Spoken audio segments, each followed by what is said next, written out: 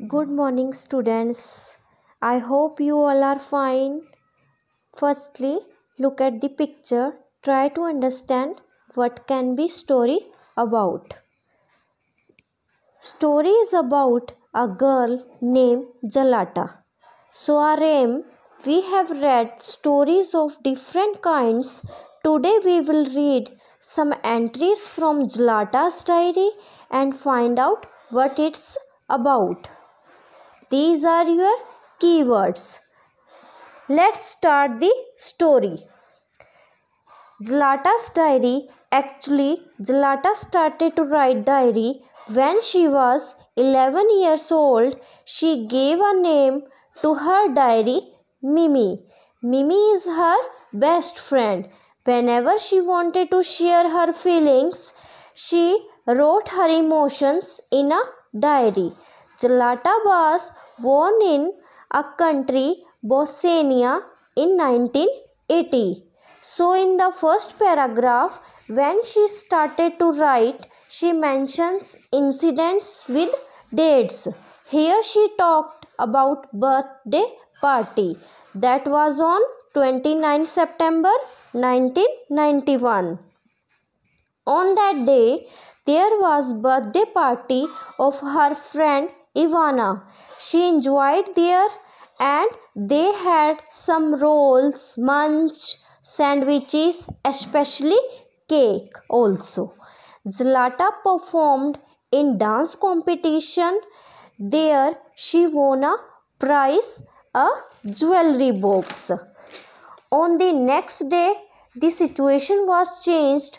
The war had started in her country. On 1st March 1992, a small group of armed civilians killed the Serbian wedding guest and wounded the priest.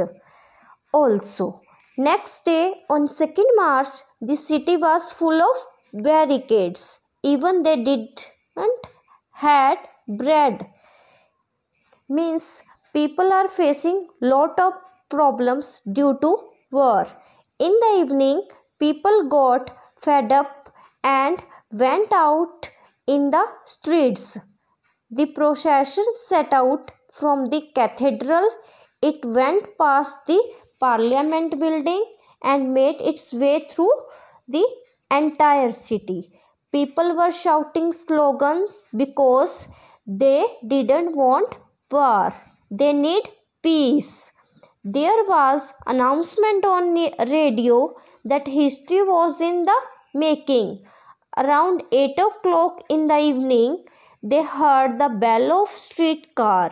The first streetcar had passed through the town and life got back to normal. People were hoping that it will not happen again. They joined peace procession and had quiet night's sleep. Next day, everything was same as before classes, music, school, etc. But in the evening, news came 3000 Serbian nationalists attack Sarajevo in the old part of town. The barricades had been put up in front of her house. Even they could not sleep in their house. They went to their uncle home. On 4th March, barricades were removed. She had gone to attend her classes. There, they gave a present to their teacher for Women's Day. But teacher told to go back home. There was panic situation again. Both boys and girls were afraid, but everything turned out okay. On Wednesday, April 29, 1992, she said, I would write much about war, but I couldn't because she don't want to remember horrible things that makes her sick. I love you, Zlata. So this is the story about Zlata's diary. I hope you all can understand now easily. Thank you.